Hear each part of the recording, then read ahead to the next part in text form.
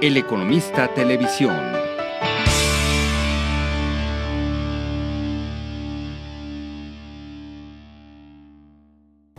Hola, ¿qué tal? Soy Itzel González, editora de moda y estilo de vida para la revista Equestrian. Y ahora estamos con Carlos Huber, de Arquist. Hola. Oye, cuéntame, Carlos, em, sabemos que cada producto tuyo es, es, eh, tiene una historia detrás, pero ¿Cómo surge esta historia? ¿Lees un libro, ves un cuadro? ¿De, dónde viene? Pues sí, es un, es un proceso entre lo que es la estrategia de una marca y de crear una colección y eh, también una cosa orgánica de, como tú dices, leer un libro, eh, visitar un sitio histórico, un sitio arqueológico, eh, un viaje que inspira y, o un, simplemente un paisaje también que evoca o que tiene una experiencia olfativa muy particular.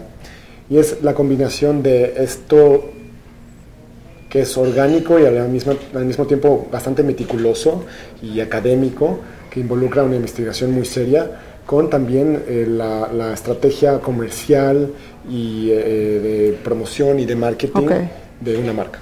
¿Y cuánto tiempo te lleva a producir cada producto? Pues bueno, eso es muy particular. En el mundo del perfume eso es, no está, está tan establecido como otras ciertas industrias eh, donde tienen procesos muy fijos. ¿no? Claro. Aquí puede ser que un perfume te tome tres años terminarlo, porque simplemente eh, es lo que cuesta el tiempo, el llegar a esa combinación perfecta donde ya el perfume se desempeñe técnicamente bien, se exprese estéticamente bien y que nos sentamos satisfechos, el equipo de desarrollo. Y luego hay perfumes que duran seis meses, donde salen rapidísimo y la idea está muy bien expresada ya desde el principio por el perfumista. Entonces es una cosa también muy, eh, muy flexible. Ok.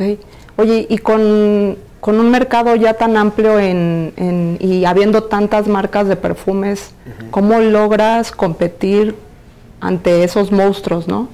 Creo que hay varias cosas. Primero, contenido, ¿no? El poder de la idea, el poder de, del concepto detrás de la marca, de no quitar el dedo sobre nuestro concepto de la inspiración de un, un lugar y un momento histórico, de seguir siempre eh, dándole mucho énfasis al storytelling y de representar esta atención al detalle también en la, calidad del producto, ¿no? que no nada más es una bonita historia y una bonita idea, sino que la expresión física, material de esto es de verdad de un, de un nivel de lujo excepcional.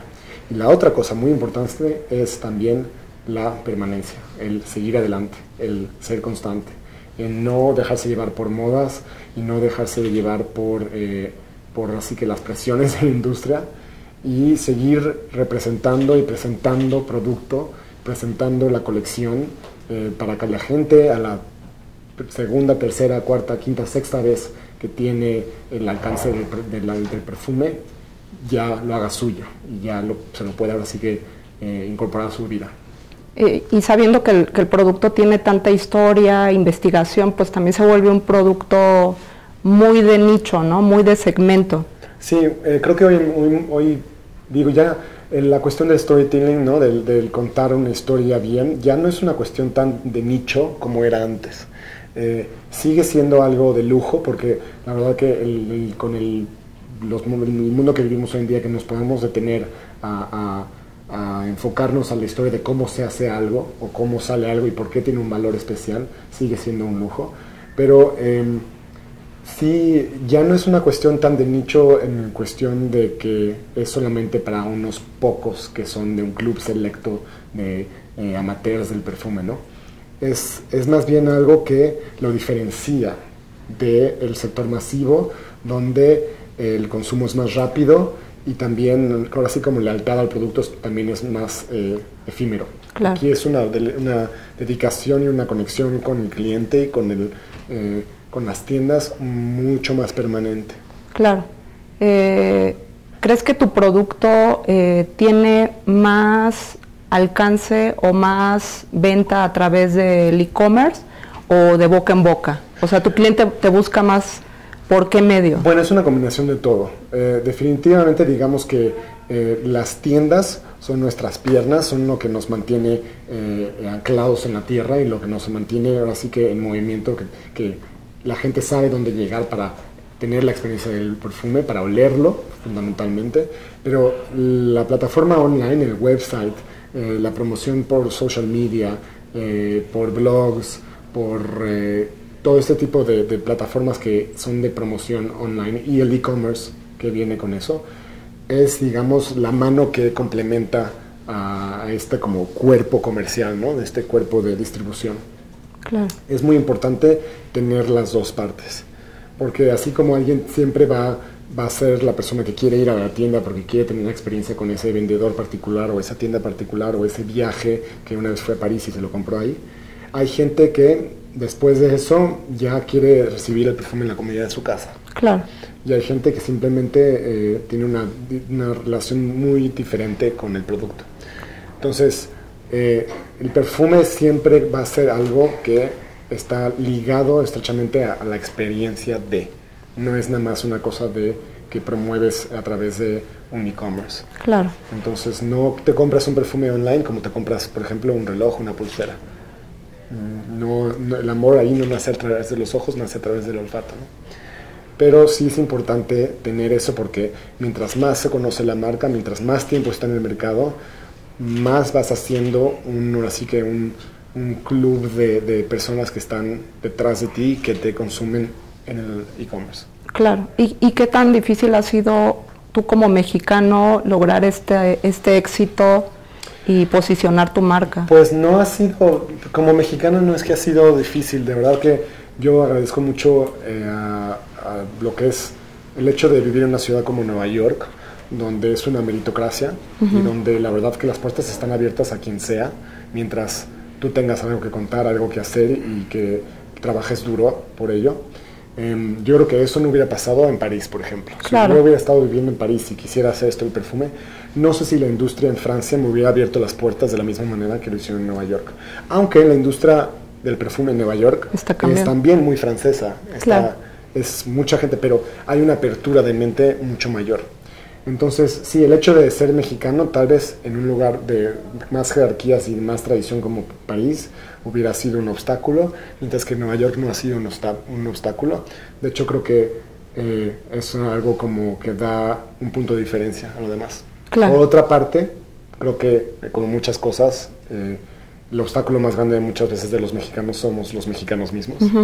Y es curioso que después de haber lanzado en Barney's, en Fortnum Mason, en Printemps en París, en Isetan en Japón, es hasta ahora, ¿no? Que podemos eh. lanzar en Palacio de Hierro y que ahora ya tenemos una audiencia en México. O sea, tú buscaste esa estrategia de primero eh, desarrollarla a través de... No, mi estrategia fue, yo viví en Nueva York. Mi, Como se fuera desarrollando. Fue, eh, o sea, mi, mi, corazón de la empresa, mi corazón de la distribución siempre ha sido en Nueva York y siempre ha sido mi base ahí. Entonces yo obviamente mi primer mercado fue el americano. Claro. Y poco a poco fuimos expandiéndonos. México siempre es un lugar que siempre fue un interés muy grande al yo ser de aquí, al yo tener pues también pues a mi gente aquí, ¿no? Claro. Y finalmente, ¿cómo, em, cómo logras combinar ciertas esencias muy, muy típicas de, México con cosas como más... Eh, no sé cómo llamarlas, quizás este complejas, ¿no? Tal vez de bueno, es que, o que no son o que tal vez no son del conocimiento de nuestra cultura, ¿no? Claro, es que la, la, importancia de la composición, del poder de la composición es, es, es algo que en la perfumería eh, está muy conectado, por ejemplo, con la arquitectura, con el arte, con la escultura, con todo.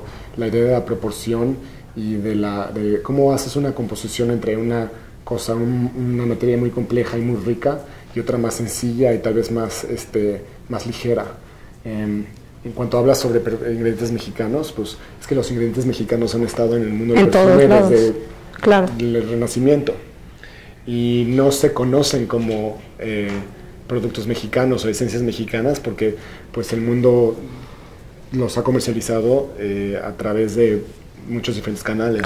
El Imperio Español sacó todo esto hacia afuera. Pero eso fue de las sorpresas como gratas para mí dentro de mis, mi aprendizaje en el mundo de la perfumería con Rodrigo Flores Ru. Empecé a, descubrir que muchísimas de las flores más apreciadas, más interesantes, de las más como eh, complejas en el mundo natural, son mexicanas. El nardo, el cempasúchil, la magnolia grandiflora, la flor de huizache, em, el frangipani. Todas estas cosas son flores que vienen de nuestro país y que se han ya cultivado en todo el mundo, pero son de aquí, son autóctonas. Ok. Pues muchísimas gracias, Carlos, Muchas por gracias la entrevista. Muchas gracias a ustedes. Gracias. El Economista Televisión.